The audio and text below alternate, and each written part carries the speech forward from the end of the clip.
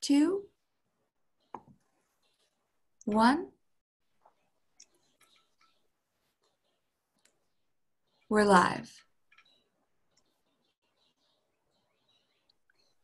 Welcome, um, everybody, back here to Segal Talks at the Martin E. Segal Theater Center, the Graduate Center, CUNY City University in Manhattan. And uh, it's for us week 14 um, of, of our series where we talk to theater artists and thinkers and curators from around the world, but also from the Americas um, to find out what is going on in, in their minds and how are they experiencing this unprecedented time of corona, the time of civil unrest uh, on the streets, a time where uh, killings uh, happen and uh, demonstrations up there, statues are tumbling.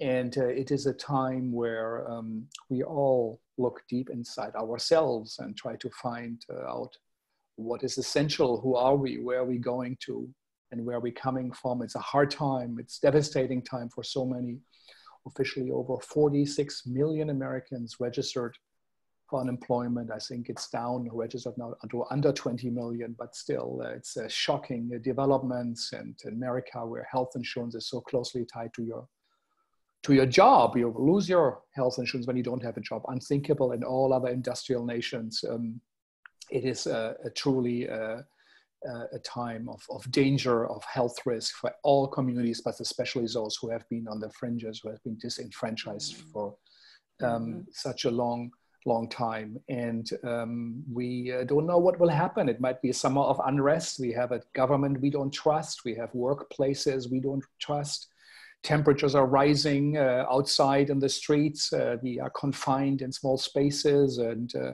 after two or three months, um, we all, as human beings, react uh, and uh, differently uh, to things. So. Um, what will this all be in the middle of this? we are have our artists with us today. We have Ebony Noelle Golden from New York City and Kemi um, Ilesanmi. Uh, we'll talk a little bit more about them later on. Thank you so much uh, for, for joining us, but let me make a few very brief remarks. Uh, we now have worldwide over 10 million infections. People think it's 10 times higher, though there are 100 million cases, most probably 2.6 uh, uh, million infections in the US, and uh, 130,000 people have died. Half a million people died globally. It's unprecedented numbers, and uh, and in states in the US, uh, which is doing so terribly by, uh, it's led so terribly and not prepared at all over all these decades, states, states like Texas, Florida, and Arizona um, are experiencing um, such uh, terrible outbreaks. Even Pence all of a sudden now wears a mask and says masks are important.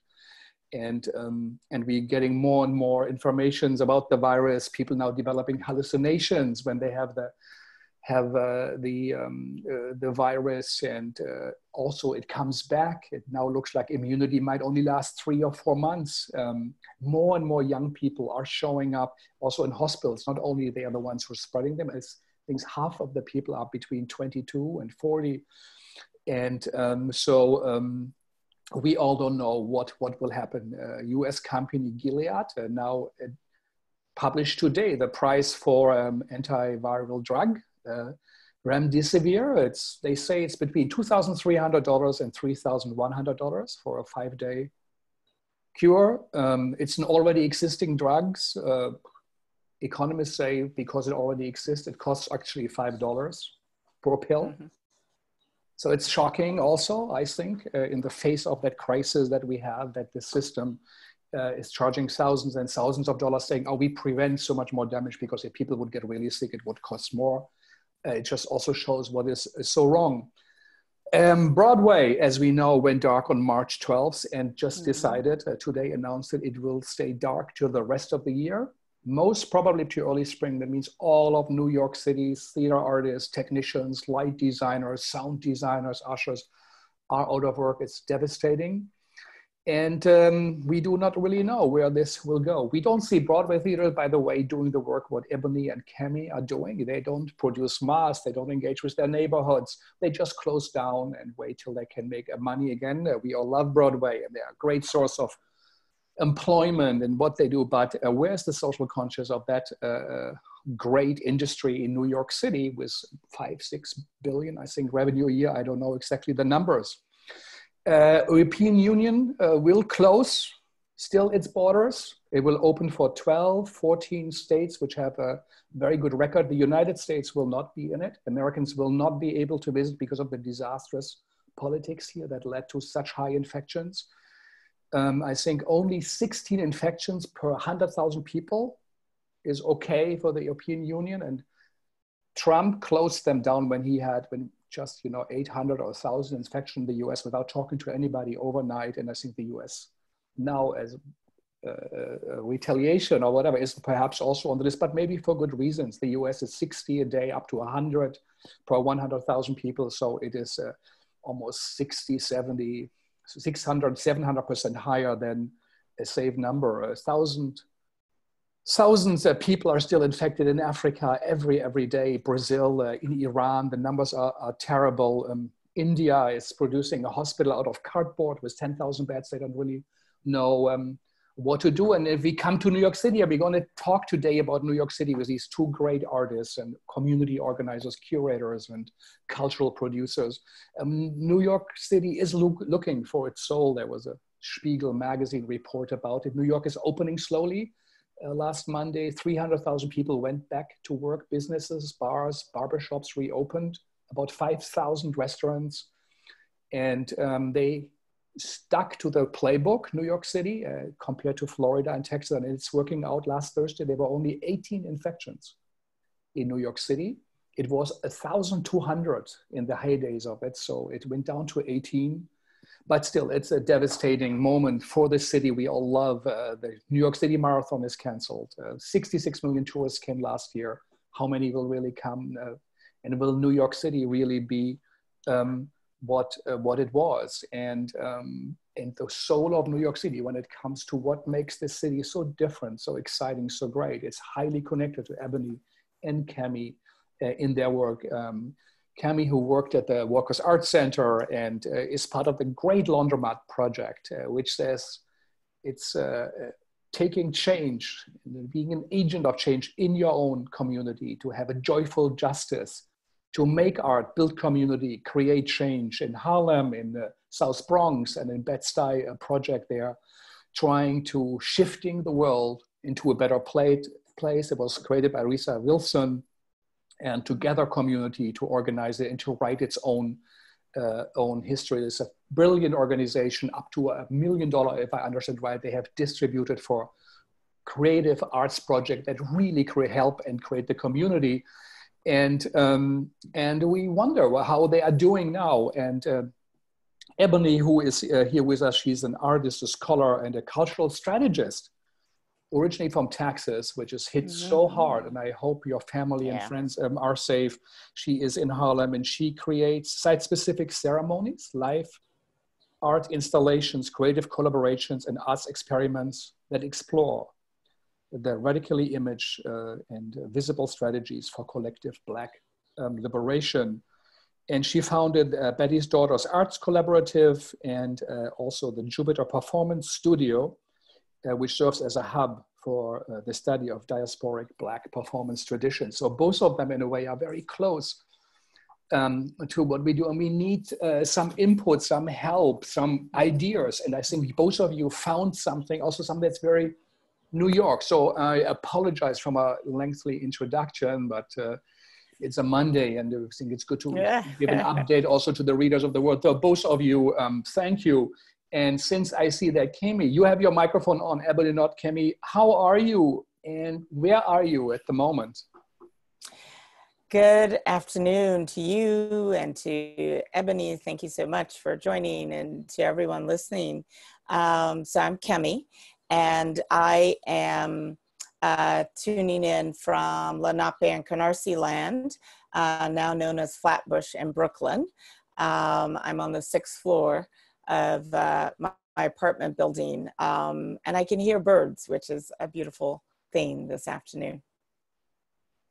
And to your point, yes, I um, I'm the executive director of the Laundromat Project, and we make art, we build community, and we create change. All things that we're still able to do in this moment, and in fact, becomes even more important to do, but also to figure out how to do it in new ways, uh, particularly without being able to be in live physical space with one another has definitely been an, uh, an interesting challenge to, to navigate. And we are a Black rooted organization founded by a Black woman, majority Black board, run by a Black woman in this case.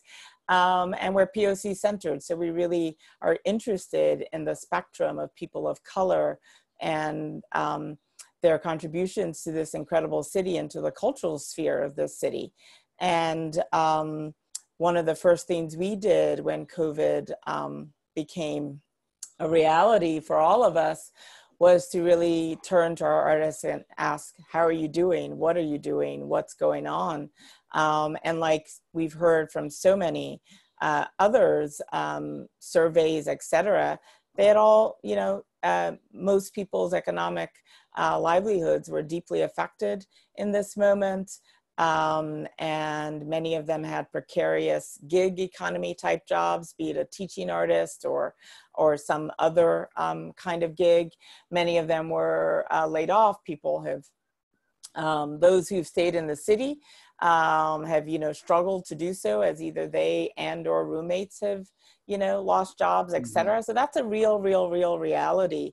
Um, our staff is majority people of color um, 10 of the 12, and that's including two interns.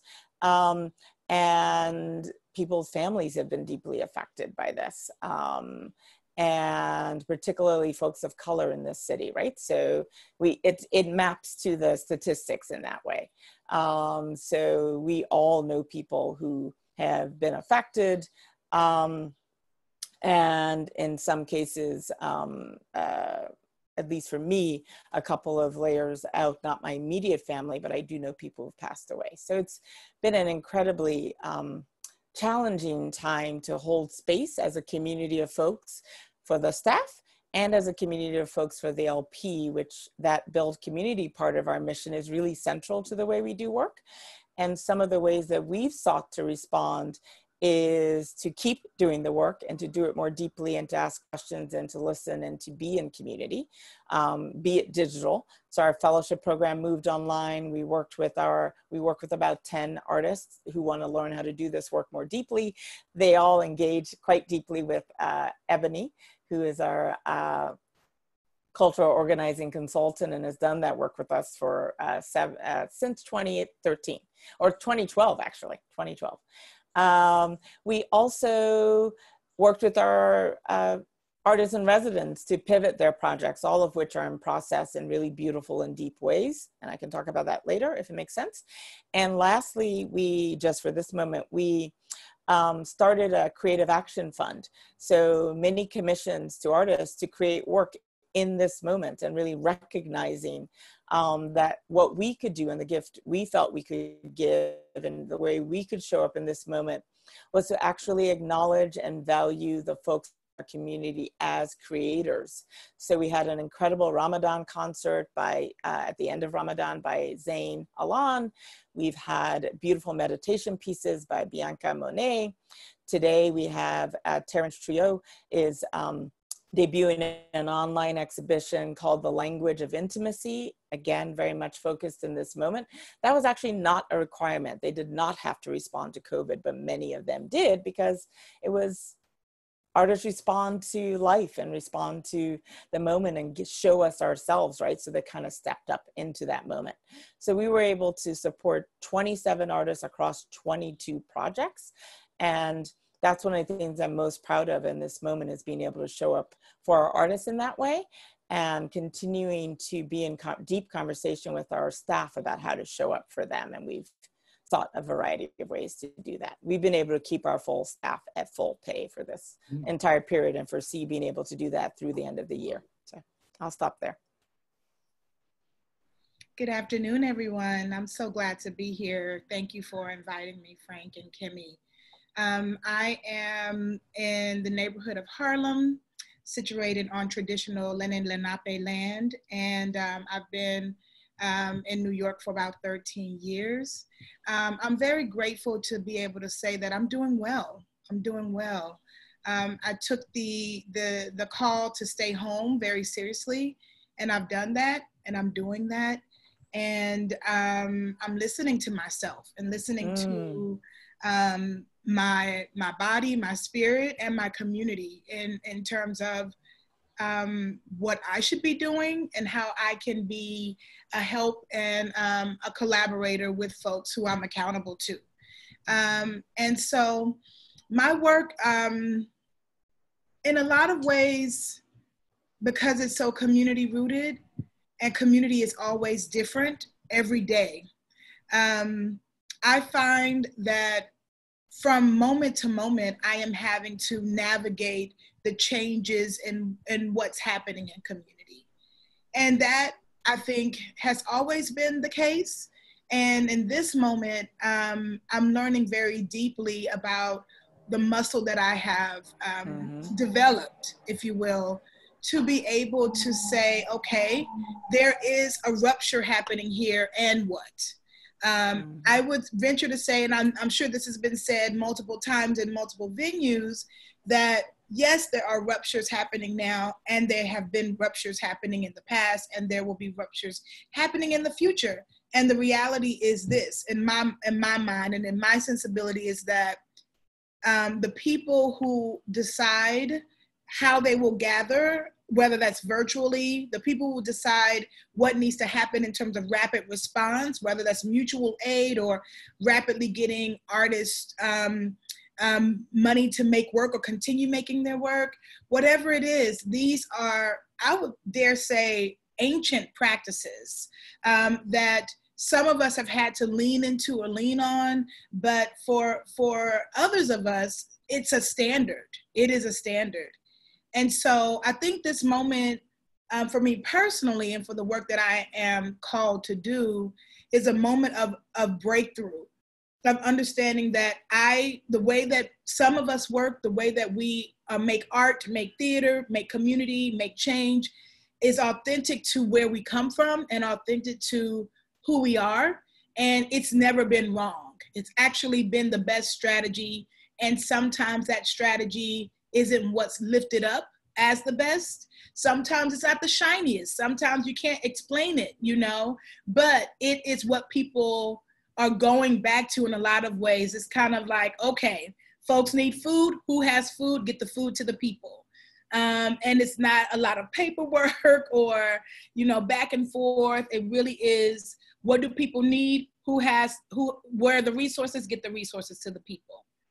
And it's interesting because in this moment, you know, um, actually right now, um, I am on the precipice as a as a as a as an artist on so many things, right? I'm celebrating a year anniversary of a large processional work that happened in partnership with the National Black Theater and a year ago. And I'm on the precipice of making new work here in Harlem, but also in Weeksville um, or in, in central Brooklyn. And um, there are a lot of expectations when you are an independent artist, when you've been commissioned, if you will, to make a work. And these commissions are, are supposed to happen, you know, that's the expectation. And I think there's been something that has, has evolved and emerged for everyone in our field around humanity, around what it means to produce and to make theater and to make work that is rooted in a community ethic and it's, you know, rooted in people being whole and human and not being producers of products and, you know, for others' consumption. And so, you know, when all of when everything when this rupture happened, um, I knew that I was I would have I would have to respond in some way, but I knew I didn't have to respond immediately. So I just sat down. I sat down, and um, and that is also because you know I run a company, a business that is also needs to be in rhythm with arts and culture communities and organizations. If my clients or collaborators are not ready to move, then who am I to say move? Who am I to say have the meeting? Who am I to say let's make a rehearsal, right? And so all of this listening, all of this waiting and being patient and being responsive and not reactionary is what I I mean, I think I would want to do it that way even even though um it was it was challenging. I don't actually don't but I actually don't know any other way to do it, right? Um and so what this time for me has been about and I know theaters happen in buildings. I know theater happens in buildings, dance happens in buildings. But for, for me and for the folks I'm collaborating with, this has been a very, um, a beautiful breakthrough because I'm able to collaborate with people who I would not be able to get to New York. My collaborators on the works that I'm building right now are literally all over the world. And they we figure out the time zone difference and we get on this this this interweb and we do the things. And i am reminded and i will i will say it as often as possible as loud as possible that theater is about people. Theater is about storytelling. Theater happened before buildings existed in in regards to you know you must make theater inside a, a structure. We all know that. But there's an economy around that that actually goes against you know a capitalist framework. So what are my friends doing? What are we doing? We're making theater and dance in our living rooms. We're making theater and dance in our in our parks. We're making theater and dance on on the in the virtual space. And what i am learning um, i just had a, a virtual um, salon yesterday an open studio of sorts that is um, show, showed some deep listening that I've been doing around a project that I'm building. And what I'm learning in this very real current moment is that as long as we people are here, theater will happen. Well, it will happen. And if the theater needs to be on Zoom, then we will Zoom the theater. We will do it. We are we are resilient, but we're also creative, that we're artists, we always are finding a way to do the most with the most or the most with the least and anything in between. And so I'm I'll, I will, I will go back to what I was saying at the beginning of my my check-in. Um, my goodness, I'm doing well because because the people I'm collaborating with did not give up. We were we rested, we waited, we were afraid, but we did not give up. And in that not giving up, the people who have the coins to support our independent processional theater, they did not give up. So what are we doing? We're figuring it out as we go. We're making the road as we walk it. I think that's the saying.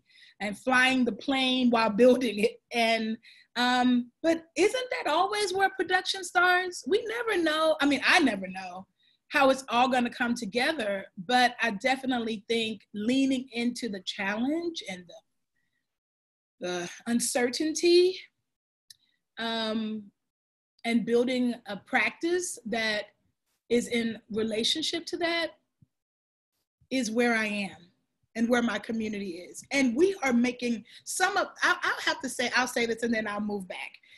I'm actually so excited about this work we're making. we're not rushing into the studio, we're not burning resources. Every penny is accounted for in a very significant way. Every penny I, you know, when I'm I'm the I'm the kind of intermediary between the commission, you know, commissioning organizations and the people who are making the work, and I know that that money is going to pay someone's rent, to make sure someone's child can eat, to make sure someone can make their own art, and that that you know, in this moment, I'm I feel like the art is a conduit for people being able to live fully and to live with dignity. Um, and whether it was this moment or some other moment, I would want that to be the case for my role in um, in practice. Mm-hmm.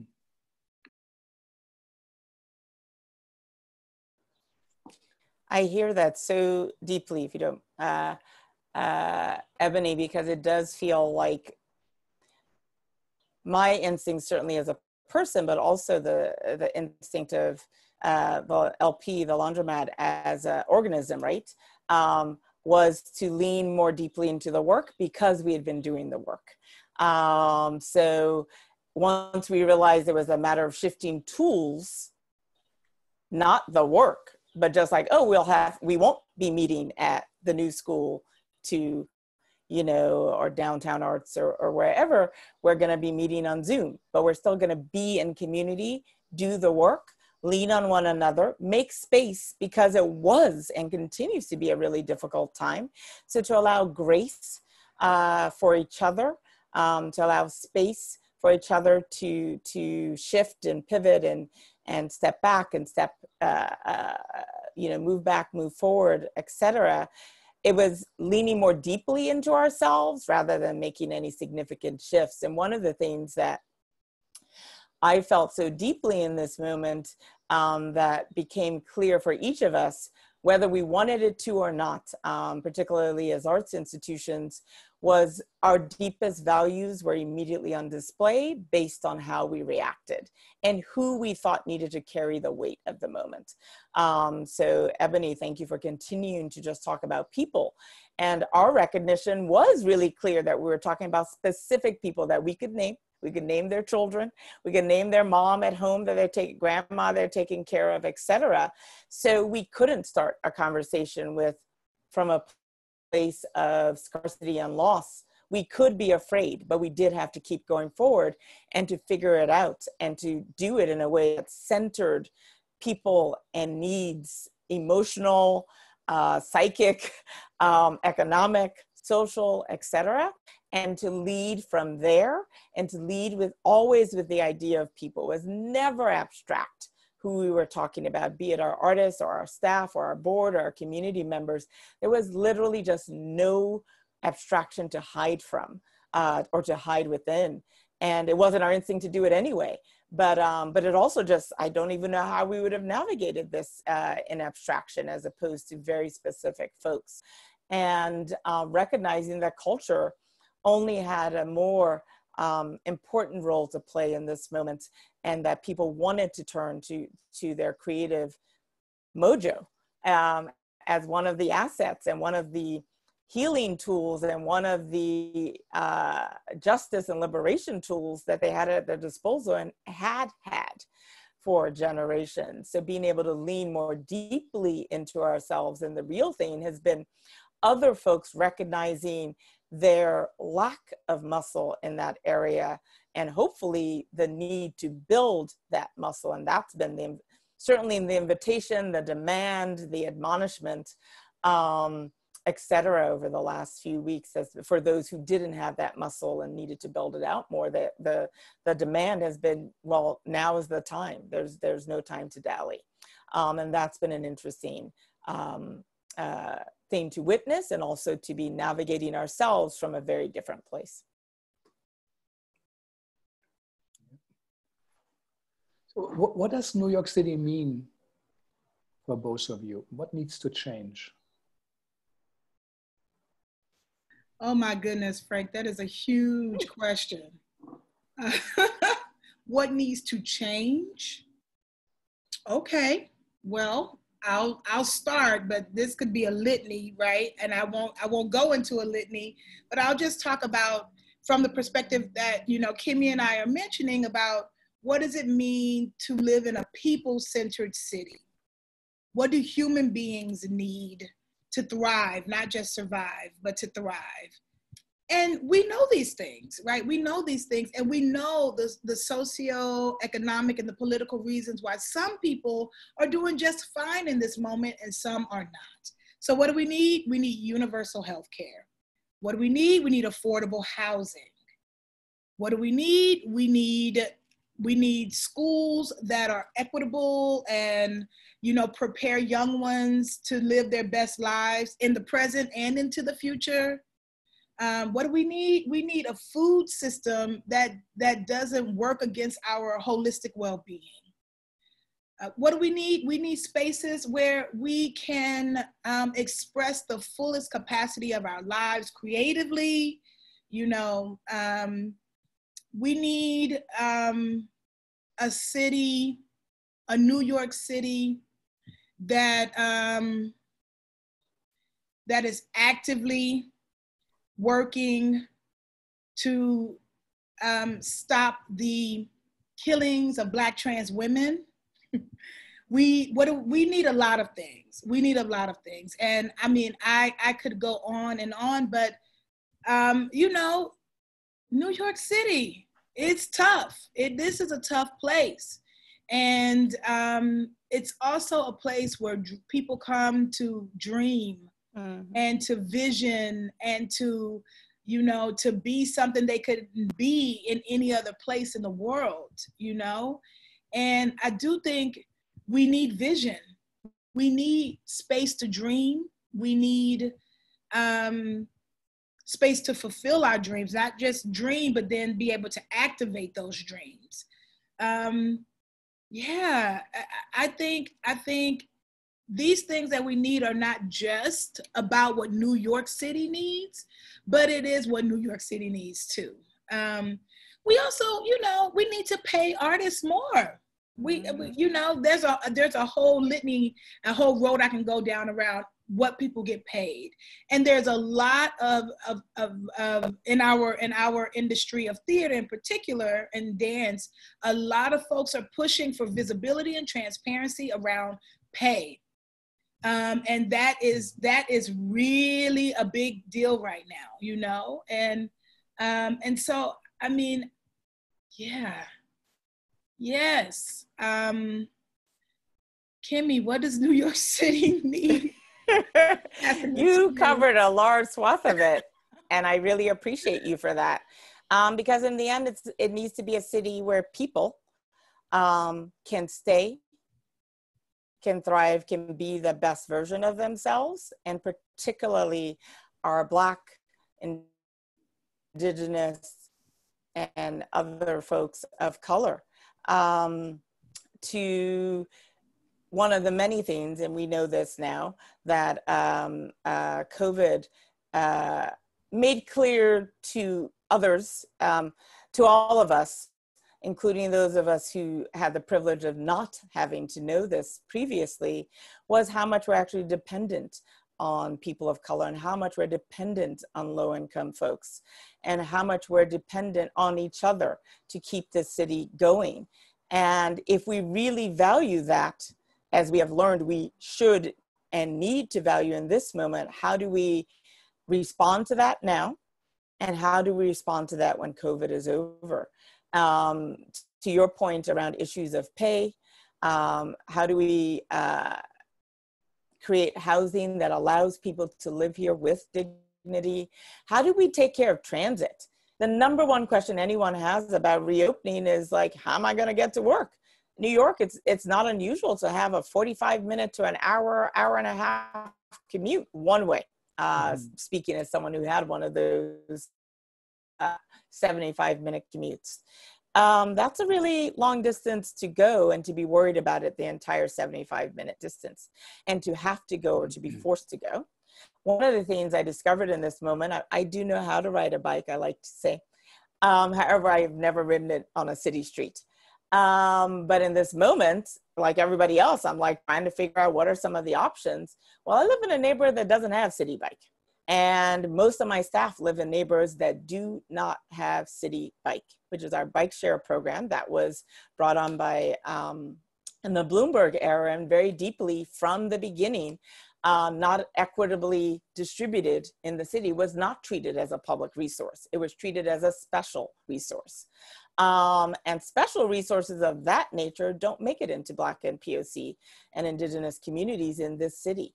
Um, and just as a very practical example, like that's unless I decide to buy a bike and my staff members decide to buy a bike, we actually can't use that in this time when that would be a really incredible thing to have at our disposal to be able. I only work three miles from the um, LP's uh, future space in, in central Brooklyn. Three miles, that's not far. Mhm. I would learn how to, I figured out how to navigate a city street uh, for three miles, but I, I can't do it through the, the uh, asset that is meant to be a citywide asset for everyone. So those kinds of fissures and the ways that we decide who deserves the commons, who gets to participate in public goods, things that are ostensibly meant to be public goods, but that really aren't, universal health care, um, et cetera, these things being tied to jobs. Well, most, so many of us in New York, and particularly along income and um, racial lines um, are tied to jobs that don't have health care or um, that have very precariously placed health care. So again, if you were furloughed or lost your job right away, that's no longer something that's accessible to you. So that sense of precarity being built in is the thing that needs to disappear. There's so much freedom that I can imagine for us on the other side of universal uh, health care, equitable uh, transit, um, affordable housing, um, schooling that does not treat us um, as disposable and as criminals if you're you know in a high school um, uh, mm-hmm. the wrong high school in new york city or if you go to our public universities are an incredible beautiful asset cuny and suny systems but they are so incredibly under resourced yeah. and they're the most diverse uh, entities and you know this right yeah, yeah. Um, in this city and it seems like the more diverse you are, the less access you have to resources. So if we could flip that, we would be very much on our way um, to, a, to a city that allows folks to thrive. And cultural workers are part of the world, right? So that's something that we're not separate. Working class folks and, and cultural workers have a lot in common uh, when it comes to all of these issues. Um, and we have uh, education bills to go with it school loans. oh my goodness. Can we talk about abolishing school loans? Uh, mm-hmm. I think what, Yes, 100%. You know, indeed, indeed. Um, I think, you know, I'm just, as I listen to Kemi, we, you know, this has been coming, this has been said a lot over the course of this, you know, this time of rupture and breakthrough. Um, we just need to burn up what the old the old normal was and and start to really lean into vision about what what do we what how do we want to live you know mm-hmm. and i know that this isn't a simple i'm saying it as if like yeah let's not, not do that and now do this i know it's not easy but if if i'm going to be str- in righteous struggle around how to live in this city and frankly anywhere in the world I want to do so in a way that is deeply, deeply thinking about what people need to thrive. You know, I'm not saying it's easy. You know, there's a whole, in this moment, there are a lot of people, you know, saying very vocally, we need to abolish the police system. We need, you know, how do we go from that to not having police? I don't have that in my in my body as a as a response, but a lot of people are figuring out how to reduce harm in communities, how to increase care in communities, how to reconfigure, because we know, you know, that we can if yeah. if we want to, if we really want to, if we want to think about how to really build whole, safe, caring, loving communities, that is a righteous struggle that I would like to be in. And I feel mm-hmm. like in mm-hmm. some ways, you know, that is tied to everything that I do. Um, and I would like it to be even more rigorously tied to everything that I do. Yeah. Um, since since we both of you also and we you know work in the theater and performance world and one could say theater began with the greeks and it showed that there was fate and you couldn't escape there were the gods things were decided this is what's going to happen it was not in your hand often even Christian beliefs were in a way like this. Then slowly, you know, through Moliere and others, the individual came out. The servant was on the middle of the stage after the kings and Shakespeare were on the stages. And individual voices came up and said, no, what I think is of significance. And then there were realism, you reportrait the world as it is. Um, uh, and, uh, and then slowly was Brecht and others said, well, it's no longer enough to portrait the world as it is. Milo Rau had this on the program we have to actually change it. So, um, and the next step in a way is, you know, a, Brecht, a call for, for action. Brecht had Mother Courage, where he said, just look what she did. And then you make up your own mind. You know it doesn't work what she's doing. Be better. But the next step, and I say both of you are part of that new world or of the future of it. The next step in a way is to engage with the community, with the people, and they are in the center of it. There's the German company Rimini Protokoll that also works in that way with the experts of the everyday or the documentary theater movement where you interview people. So what you guys do is actually say, no, I'm not the writer who wants to have his play, the director. You say, let's look at community. How do we empower people? There in the center, I saw the projects the LP puts together, people who have ideas, you support them and you connect. And many people around the world say, of all our talks, whether it's Indonesia or Belgium, whether it was South Africa, mm-hmm. or whether it was Hong Kong, they say this is now at the center. And what you guys do, I think, is actually part of anticipating a future where the, even the artist is perhaps no longer as much known. People said Kemi did it or Ebony, but, but these people are the people of the neighbors are in there. What is missing, as you also said, from the Broadway world? Do they engage with Midtown? Do they do projects with the people who live there who are in the meatpacking district or um, Hell's Kitchen? I don't think so. And support the small theaters around. So tell us a bit about what you felt in that community. Why do you do that and what works? What could people, also listeners from other countries, what could they learn? What do you do? Why do you do it and what works? Um, I'll uh, jump. Mm-hmm. Kemi, yeah. go ahead. Uh,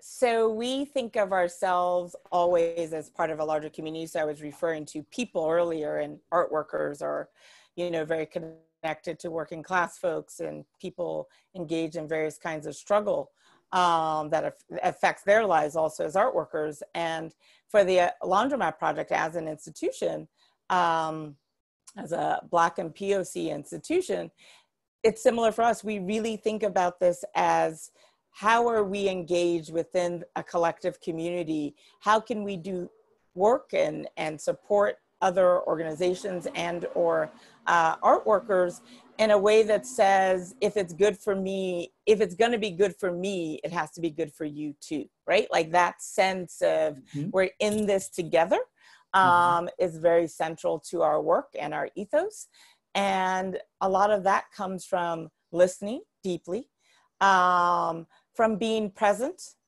um, in the sense of you can't know if you're not there, right? Um, and in that, in this moment, there looks different than it might have looked six months ago again, which would have been very physically based. Um, but checking in, talking, going to town halls, uh, looking at social media and where people are, listening to reading and listening to ancestors as well as you know trying to be the ancestors we want to be for somebody else um, that sense mm-hmm. of um, time being very circular and that sense of uh, we're where we don't get one one of us does not get to thrive unless all of us are thriving uh, something that ebony said earlier that really um, uh, spoke to me is this idea that so much, uh, uh, uh, and that you were also just saying, Frank, this idea that so much of what we already know to do, or so much of what we're discovering needs to be done right now, has already been done by a lot of different communities who had to do it.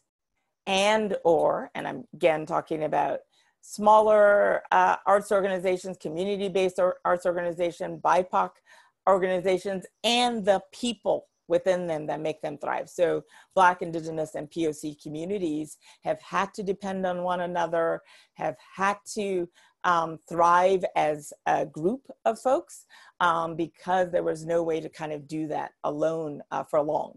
Um, and uh, being being in a moment when that kind of way of approaching the work and the doing and the being um, how to be in the world um, uh, and having that lifted up in this moment as one of the possibilities is kind of like it's already there. One of the artists we have worked with is uh, Lizania Cruz, and she on her Instagram over the, every every uh, week or so she posts like things that she posted last week, she posted like, here are ways that we hold up care already. These are the ways that we already practice being in a community of care. So to the example of like, what do we do? It, what would this city look like? What would society look like if we if we centered people and care and the care of people? Um, she kind of started pointing out this is what already exists here's how mutual aid societies are working. Here's how artists supporting one another. Here are susus which is you know people putting money together to be able to to um, fund their big dreams. Here's how this sense of being in community as a verb uh, community is something that's active something that you do already exists in so many communities. And it's about saying it we already value this.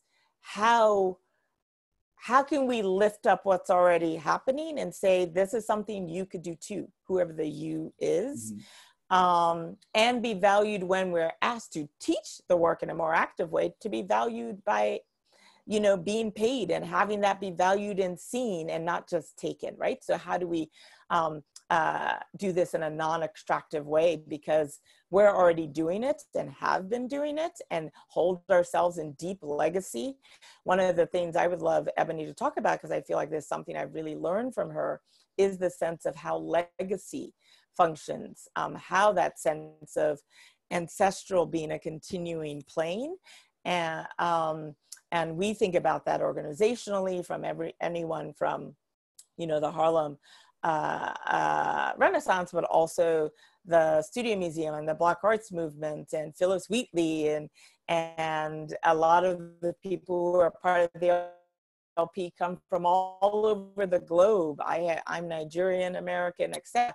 We're pulling on a lot of different traditions, and that sense of being grounded um, is also really important. Yeah, um, Ebony, Ebony, could you talk about legacy? No, before we just maybe oh, yes, one sorry. question. Can, could you give one or two or three examples of projects where you say these were mm. the ones we commissioned and they stand for this for our viewers, our listeners? What are what are laundromat projects? We say this actually exemplifies yes. specifically what we do. Yes. What theaters could learn all around the world, say because they could do the same. They could have a Kemi in as part of their staff. And then Ebony, I would Absolutely. love to hear of your so ongoing I'll project, go- but yeah, maybe some. Absolutely. I'll give you one because I know time oh, is one. of the mm-hmm. essence. Mm-hmm. So, Meal to Heal is a project that we're supporting right now. Um, and it is by two artists who are Filipino American, Xenia Diente and Jacqueline uh, Reyes. Um, and just as an example of caring, Xenia had been an uh, artist uh, fellow in 2012, and we support a lot of our artists over and over again in new ways and forms. We stick with them over time as opposed to just being a one-time thing. And you know, in theater, that might be you know people tend to you know maybe commission a project or you know different plays over years, right? So that same ethos of, of we value you. We think there's something beautiful here, and we want to go on a journey with you as a creative person. So Xenia uh, came back uh, uh, this year and um, became one of our artists in residence and brought along Jacqueline, who had been a volunteer in the past with the LP. And they were interested in uh, partnering with small businesses um, Filipino businesses in Woodside um, and other parts of that part of Queens, Elmhurst, Woodside, Jack, uh, Jackson Heights, but there's a particular part of Woodside that is known as Little Manila. Um, and so very much a, a hub of Filipino uh, businesses. And this is a neighborhood that has uh, tens of thousands of Filipino Americans. It is, uh, uh Xenia herself grew up in this neighborhood and they were planning to build a series of partnerships with small businesses and artists leading up to Filipino American Month in October when they would do a festival. Well, COVID landed, and literally before the end of March, so our last day in the office was March 9th, and before the end of March, they had already figured out a pivot for their project, um, partially grounded in the fact that like so many uh, uh, Filipino families, um, they could each trace, including their mothers, women working as nurses in this country because there's actually been a structured pipeline of Filipino women coming to the United States to be nurses. And and all of the econ- ec- economics that might imply right about what they're doing to care for their families back in um, the Philippines as well as the communities they've built right here so they immediately uh, got in contact with um, the Filipino uh, Filipino American um, organization. NAFCON is the is the uh, acronym. I don't remember all the words. Um, and started saying, let's look, and they were in that part of um, Queens again. Elmhurst Hospital is right down the street from where Xenia lives. And we all know almost, uh, those of us in New York and elsewhere probably know that Elmhurst, Elmhurst Hospital emerged very early on in COVID as a kind of emblem um, because people were dying there and et cetera. Like, um, so they were right down the street and one and knowing that there were a number of filipino americans working at the hospital as well as neighborhood nursing homes other uh, community care centers so also knowing that the filipino american businesses that they had planned to partner with suddenly had no business or severely reduced business so they immediately set up a gofundme to raise money then they took that money paid it to a variety of Filipino American businesses, particularly restaurants in Little Manila area. They took those meals once a week and fed them to Filipino American um, health workers and whoever else was in their unit. But they did research to see which nursing homes or particular units had high um, numbers of Filipino health workers um, be they nurses and orderlies, doctors, etc., took these incredible meals and gave them to the health mm-hmm. workers who were working so hard in the middle of this pandemic. And this was April when we were peaking, yep. um, and fed them once a week as a way of saying thank you. In the meantime, Jacqueline, who's an incredible graphic designer and actually works for the United Nations, um, she designed a beautiful mural and was able to install it just two weeks ago outside one of these restaurants. She painted it in her bedroom, uh, 24 feet. Not it's hmm. you know it's it's a really big one. It's the it is the first Filipino mural in the neighborhood that is known for its Filipino businesses and residents, but they have never been able to do this. And hmm. apparently, from reading news articles and talking to them, there had been conversation about this forever. But now there's this permanent mural outside this restaurant that wishes you welcome in Tagalog, right? So that's that's a way that was about centering people, centering care, bringing in art, bringing in culture, bringing in the tools that artists had around community care and setting up essentially a mutual aid system that fed itself. They are continuing to partner with small businesses and artists, and they're still working towards um, uh, a variety of projects and things that will be part of the Filipino American History Month in October, but they were able to still take this project and move it around in the way that this moment needed it to move um, in response. So that's one example. Ebony, you have tons. Fantastic, yeah. Yeah, so um, I want to make sure I'm I'm responding to the question like what are some ways in which um, can you repeat the question frank i want to make sure i'm clear well your, your work which i see as artwork curatorial work you know first of all your project where you say you are so excited about mm-hmm. at the mm-hmm. moment i would like to hear more about but why do you do it and what works best in your long experience for over 10 15 years working in it for all for everybody who's looking at how can we do that how can, what, what advice do you have and um, mm-hmm. give some examples because people yeah. don't know, haven't done. They think we produce a play by a playwright, and then you come and pay money and you go home, sure. which is great. And as theater a performance is a big house, as Hans-Thies Lehmann said, but it has many rooms. Mm-hmm. This is mm-hmm. one, but you are opening a new patio. You are opening a new addition. So I want to know from you what do you do what works what, yeah what and i would i will say that what i'm doing isn't new to Kemi's point i'm in a tradition of making work that is ancient Mm-hmm. And um, and I I heard I heard your kind of trajectory and lineage of theater, and I I come from a, a whole different school of thought and practice where theater mm-hmm. is ceremony and theater is ritual and you know theater is everyday life and sometimes we put that on stage but it, it happens every day so there's a deep sense of storytelling and what stories are used for to tell the news to talk about how people got to where they are, to talk about how people have changed, and to talk about people's connection to the land, and so on and so forth. Mm-hmm. And that's an ancient practice. Um, and I think, you know, you mentioned Broadway. Um, and Broadway is not my default. I think Broadway has its place and a space and a lot of you know stories that are told there we need to hear and that's not my default so there is a way in which you think about the intersection of culture institution and theater company or whatever and that is for me coming through places like the ensemble theater in houston texas um, the national black theater here in harlem Billie Holiday Theater in Brooklyn, and I could go on and on. Mm-hmm. So there is, I think, rooted in um, um, uh, uh, diasporic Black aesthetic or diasporic African aesthetic, this idea that theater is supposed to do something.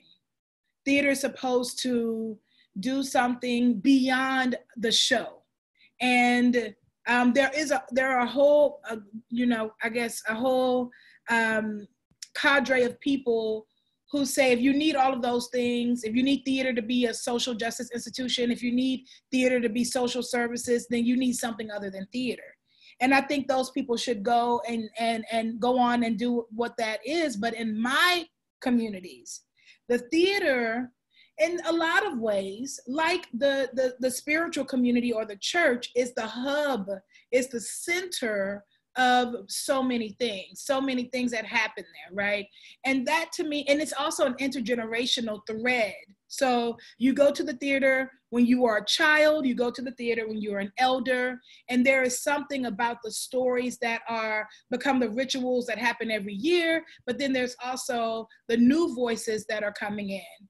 Uh, I am not unique in the work that I do, and um, I am more so a student and a practitioner than someone who's figured some things out. What I will say as a, as a student and a, and a practitioner is what we've been saying here. Um, the, the kind of, I would say, the European constructions of the playwright and the choreographer and the dramaturg and, and all of these people um, and that you do your one thing in a silo and then you come back and you're in service of the product um, that doesn't seem to serve my communities well. That doesn't seem to serve um, the, the well-being of the institutions that are supporting the work, but the well-being of the people. Um, most often in my communities, you can, I could, I could actually say, hey, I want you to come in and be a dancer. And that person is actually better at building constructions and set pieces and, and the, the ability to be able to move around and do things that are not on your resume is definitely, I would say, a dismantling of this kind of hierarchical notion of what theater is supposed to be. Well, there are folks for 50 years, there are organizations for 50 years that have been saying, you come here to heal, you come here to eat, you come here to learn, you come here to get inspired, you come here when you can't go anywhere else. And that's my default. That's my default. Theater as a place of visioning, Theater is a place of connecting. Theater as a place of remembering, of storytelling and story gathering, of responding and being, and, and most often being relevant to what the people need now. Relevant to what the people need now. I, I think, you know, um, my work in particular is, is collaborative and so I might be the one that gets the commission, but I am not a one woman show.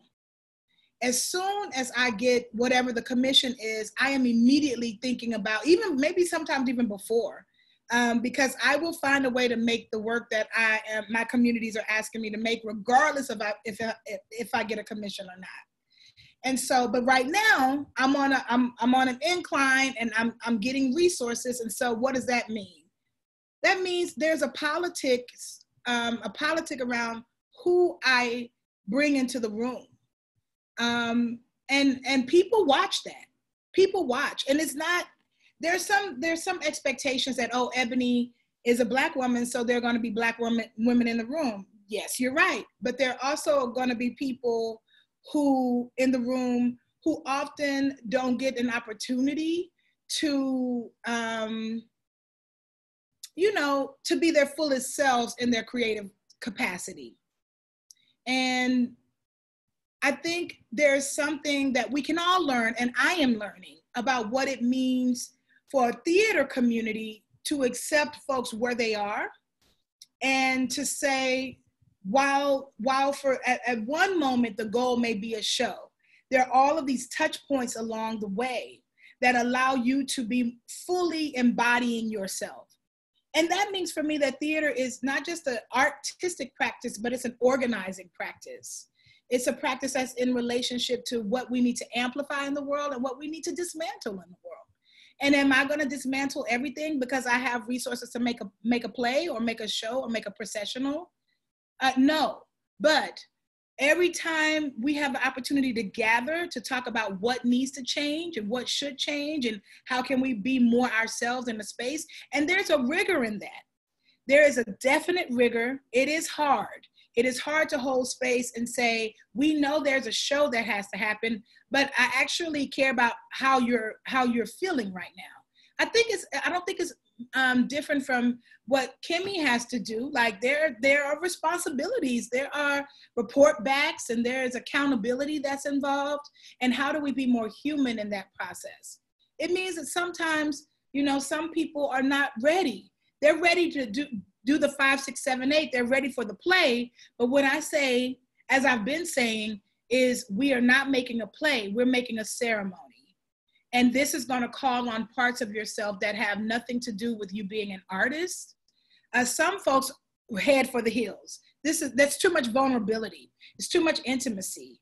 Um, and and actually, for me, I'm looking for vulnerability and intimacy, and to how learn how more how to be more vulnerable and intimate um, through my art making. It is a way that I can learn how to be more vulnerable and intimate in my just regular life. And so what am I saying here? I'm saying that there's a there's space for it all. There's space to be able to go to see a show and have a good time. You know, I, one of my best Broadway experiences was going to see Fela. I was like, oh my goodness, this is what I've wanted to see my entire life. I've never seen this in my entire life. And then there is space to say, come to Weeksville Heritage Center, where we are going to be thinking through and unpacking what sovereignty and agency and liberation looks like by remembering and remixing the, the our legacy. Um, there's space for it all. There's space for it all. I am not interested in, and this is a question that I've actually been asked a lot here recently. I am not interested in battling Broadway. I'm not interested in trying to make Broadway do something. I'm interested in doing my own work. um, I'm interested in doing the work that I have been called to do, that I've been mentored and trained to do, that I know I'm here to do. I am not here to fight Broadway, no matter what's going on on Broadway. And I'm sure there's a lot that needs to change. I am not fighting Broadway. I am working in my corner with my crew, building the stories and the practices and learning how to be a better human myself um, instead of, you know, a fight, a reactionary fight. And so I'll just say finally, you know, there's something about collaborating with organizations that are not theaters to make theater. And right now, because I'm in a moment, you know, where I'm able to look very deeply in two directions, a project that I'm building with theaters and a project that I'm building that is that is with a heritage center is what the archive has to offer us. Um, Weeksville Heritage Center has such a vast archive. And the approach to bringing a story to life through an archive that I would not have any access to in any other way is, re- and that archive is about how community is built. I am learning so much in this moment because the archivists there have taken an interest in my art project to learn wait, wait, wait. So, how does a community actually get built from just grassland and swamp and trees?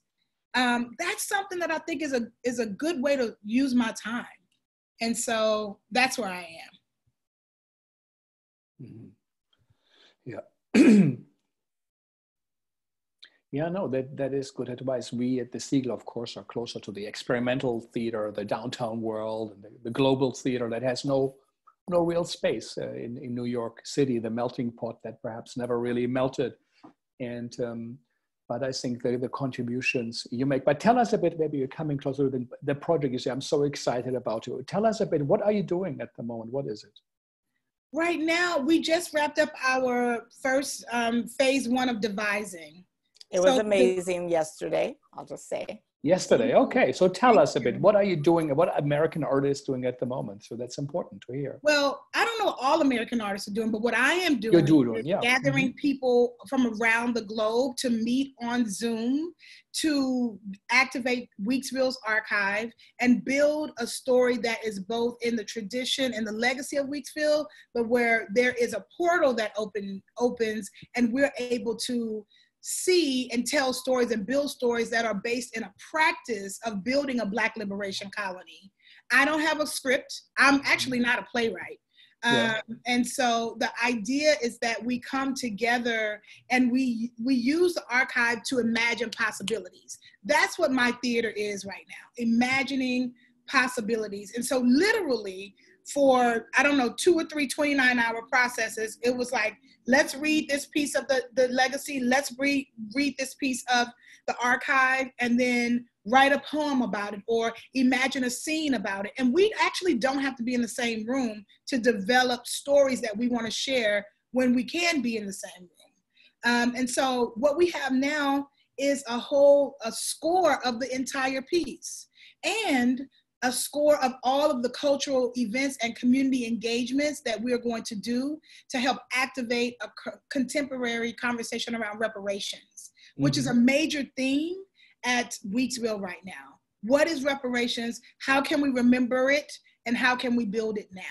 And so, yesterday, um, we had a virtual salon, a digital liberation salon, where my, my friends from all over the place came together and we did short duets and longer conversations and a work in progress showing that's based on what we've been doing for most of the spring and into the summer. What I think artists, um, I want to, I'll give one, give one um, nugget of um, advice or an invitation, if you will, um, for artists to listen to themselves and understand that just because everyone is spiraling, you don't have to spiral. Um, just because everyone is making statements and doing the things, you don't have to. That this is a moment of, of radical breakthrough. And for me, understanding the, the chaos of that is I'm getting through it by remembering that many of my my community members and my elders and my ancestors have been through many ruptures and breakdowns and breakthroughs and I'm here because of them all. And so it's it's scary, but it was scary before March, you know? and the, so the idea I think it would be to listen deeply to yourself and listen deeply to the people you are accountable to and make art from that space. I know people have gigs and contracts and jobs and all of that. Um, but in the midst of doing all of that, where are you? My invitation is to find and continue to be intimately connected to you individually and you, your people. Mm-hmm. So that's that's very very very significant advice to you know listen to find who you are and con- inner self and and to connect to people and i like your idea when you said earlier no to you do a show but i'm interested how do you feel you know that's quite quite a quite a concept quite something sounds so simple but something very uh, significant and, and and to say to have to say i don't do plays or should i do ceremonies. I'm a big believer in, in, in ceremonies and um, rituals and um, so this is some it's the most significant contribution. So what are you guys listening to at the moment or reading? Is there something where you say this in this time of covid this has been important to me who's inspiring mm. you? That is, I definitely, um, speaking of Fela, there's Fela has certainly shown up on, on, the, on the Spotify list, but also listening to a lot of uh, staple singers, a lot of Aretha. Um, I played Black by Beyonce about 15 times on repeat while my husband was out running. uh, this weekend. Um, and uh, really trying to, it is this sense of wanting to ground myself in the things that have given me um, joy and respite since I was a child. My father, who's Nigerian, Aretha is mm-hmm. one of his favorite singers. So I've been listening to Aretha since I probably since before I was born. Mm-hmm. So for me, she's always a touchstone and always brings me back to a sense of myself. Mm-hmm. And and books or writers or um, ideas, uh, is there yeah. that you suggest? Uh? Yeah. Um, I'm going to turn it over to Ebony, and I'll, I'll run through my through my list okay. in my head. Okay. So music, music is the, the the main thing for me right now. Yeah. Right now, I am listening to a lot of uh, experimental and spiritual jazz.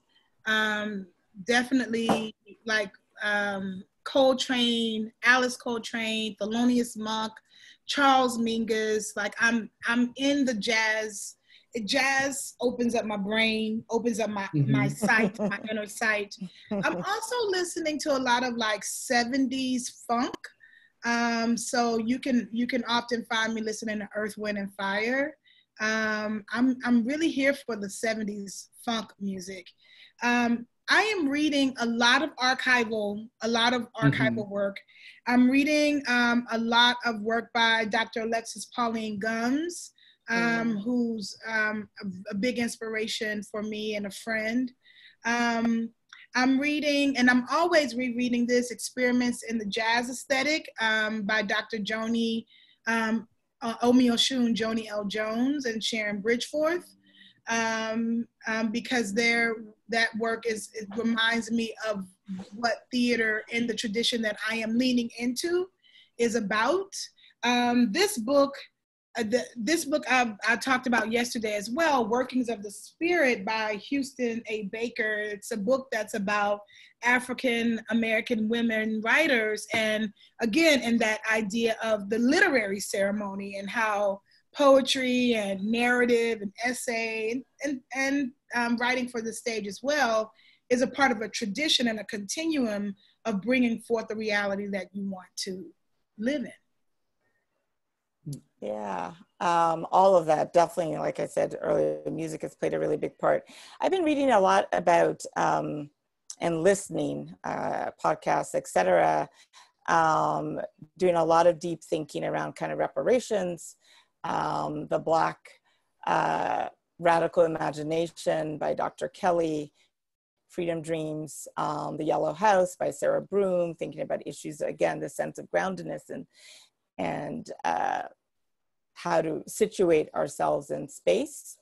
Um, one of the books that I'm very excited to read and just uh, ordered is about Lift Every Voice and Sing by Imani Perry, which is um, the, known as the Black American uh, uh, anthem, national anthem, and it was something that I was introduced to in my teens when I went to Florida A&M University, a historically black college, and it's a song that it means a lot to me, and being able to kind of dive into that from a historical perspective. Um, as well as many other uh, perspectives mm-hmm. that Dr. Henry, uh, Dr. Um, Perry offers is something I'm very much excited about. I've been looking at a lot of art and reminding myself about what, what I love about uh, Carrie Mae Weems and Lorna Simpson and Glenn Ligon, as well as all the incredible um, LP artists that I get to be uh, connected with and learn from. Some of my deepest learnings by far um, happens from Laundromat Project artists and what they care about, what they push me to pay attention to or to think about or to see um, in a way that uh, might be different than I might have seen it for myself. Um, so that's, I, I have tried to approach this moment, which none of us asked for, but here we are given um, as a gift, as a portal, as Arundhati Roy um, offered to us um, into um, a, a, a, time of incredibly deep listening and thinking and um, reorienting. Um, uh, but just listening and looking and thinking and, and listening again. Like it just com- keeps coming back to this idea of uh, being grounded in listening with my eyes and my ears and my tactility, like listening as a full body experience. Mm. And what advice, let's say for a young artist, someone who comes to the LP and maybe doesn't get the project right in, or Ebony, someone comes to you and uh, is starting out, what advice do you have to, to artists for the moment now? Maybe also for our viewers, you know, how to deal with the moment. But what advice, what do you give to someone seriously who's, who might be struggling and making sense, creating meaning out of this, at least in our lifetime, unprecedented situation? Hmm. Confusion. Oh, yes, Kim. No, no, please, Ebony. Um, in this moment, there is space for confusion. In this moment, there is space to not know what to do. Um, Kemi spoke about grace earlier. Grace is hard. It is. It's challenging. It's challenging. There's so much at stake and there's so much that's important, but grace is, I think, super critical. So, and I, will I'll make it I'll make it brief. I know we're we're getting to time or past time, um, but what I will say is that you, if you if you if you're trying and you make a mistake, right? Accept that you are learning, accept that you're in process, mm-hmm. and accept that other people may not accept your mistake, right? Um, but be very comfortable with discomfort. Be very comfortable with moving beyond your growing edges, as as we we talk about often. And what's outside of that is everything.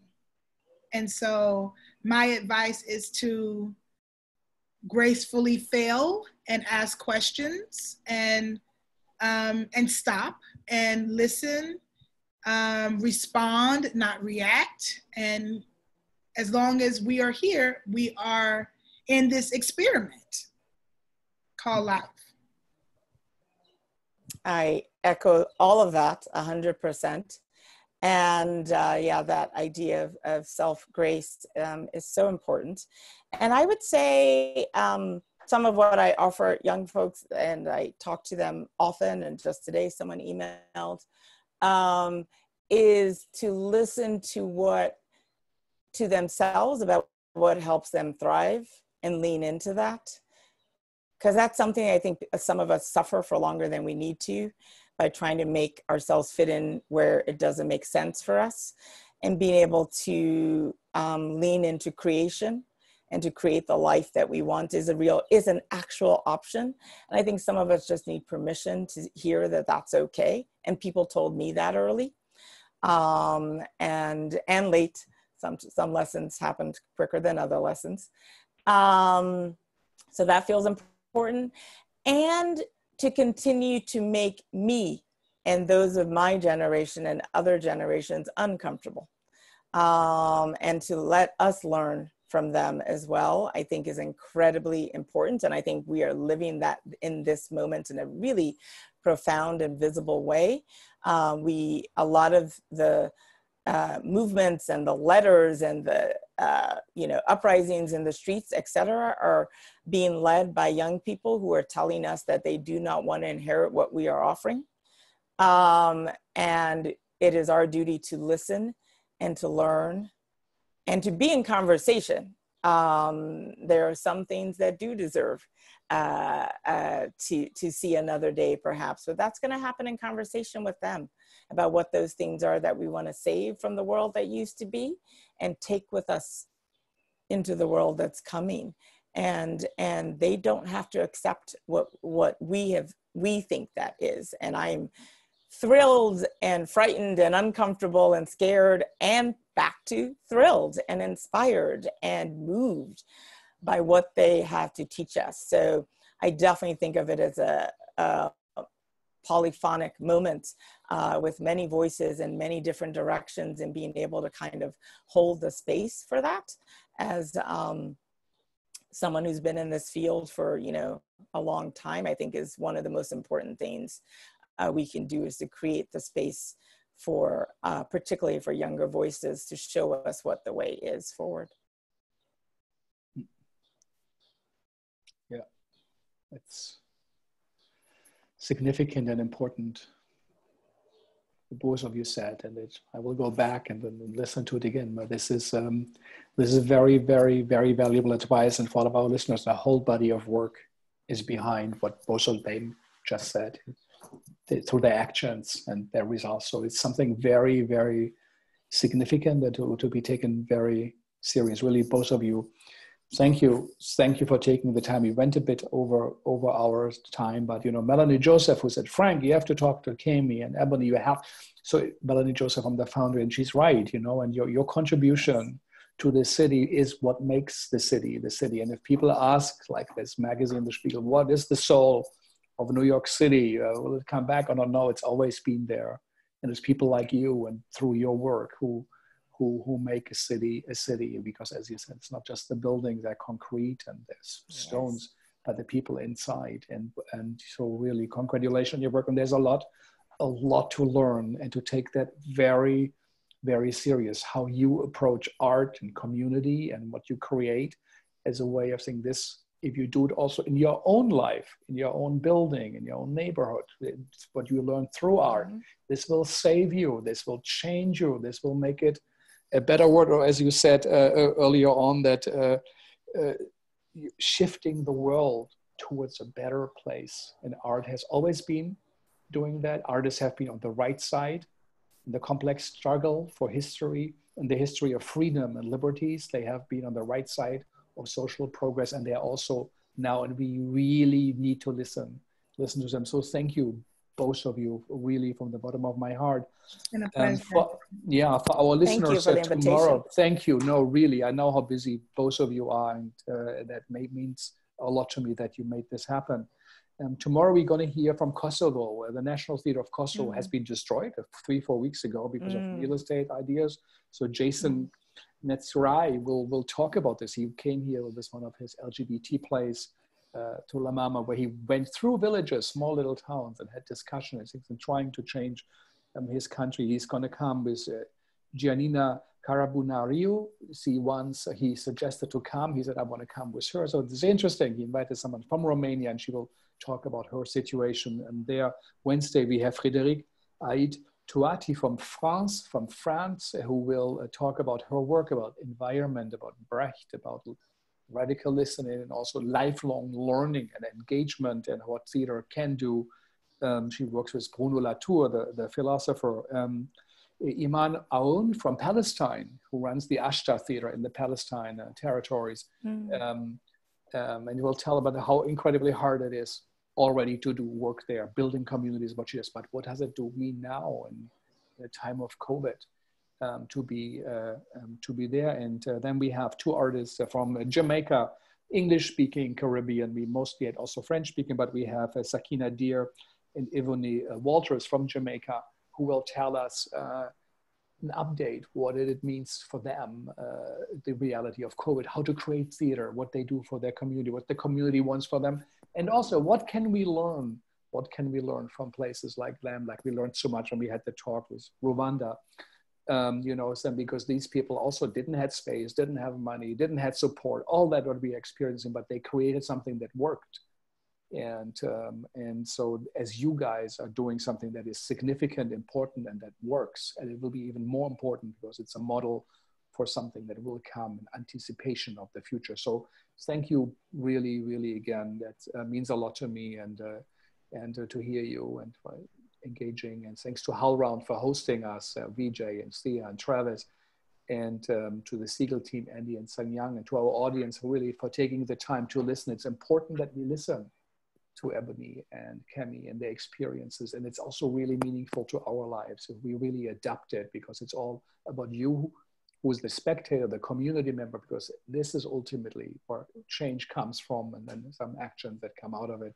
So, um, and we learn through the experience of the artists like the ones we have um, today. So it's a great compliment to have uh, you with us and here. And I hope everybody will stay safe and stay tuned in, wear a mask. It is important. And um, And I hope you all will uh, save, uh, be with us tomorrow. And New York City is a really, really great, great city. It's a dangerous moment. It's a tough moment. It might take years or a decade to rebuild, but it's been through a lot, but it will be a better place um, because of the people who are inside. Um, it's like the guys like you. So thank you all and uh, uh, see you soon. Thank Bye-bye. you. Thank you. Bye-bye. Thank you. Really, really thank you.